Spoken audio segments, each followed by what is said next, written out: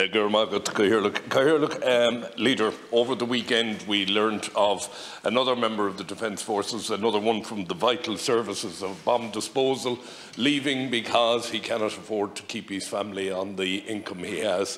35 quid for a 24-hour duty uh, is hardly uh, an incentive to stay. Now, there are talks commencing with the Irish Congress of Trade Unions with respect to the current pay round with, um, because of inflation, etc.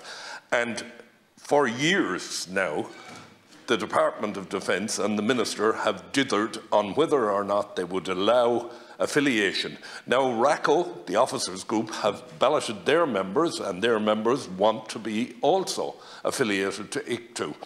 The Commission on the Future of Defence, which was established by the government uh, and was given to the minister last February, recommends that they be allowed affiliate and still no decision is made. This is nonsense. It's a simple stroke of a pen from the Minister and I would ask you to write to the Minister and ask him would he please make a decision for once and for all and allow these people to have the same parity of esteem when it comes to negotiating on pay.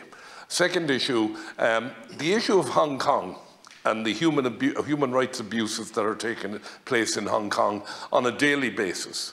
Uh, yesterday we had a, a, Catholic Archbishop arrested there. Um, I wonder, can we organise to have a debate in this House on Hong Kong? And I am fully aware of the sensitivities of anything to do with China, but we can't sit on our hands and allow human rights abuses take place in any part of the world purely because there's a couple of tons of beef at the other side of the equation. Just can't do that. So I would ask you if you would be willing to uh, hold a debate in this House on human rights in Hong Kong specifically. Thank you.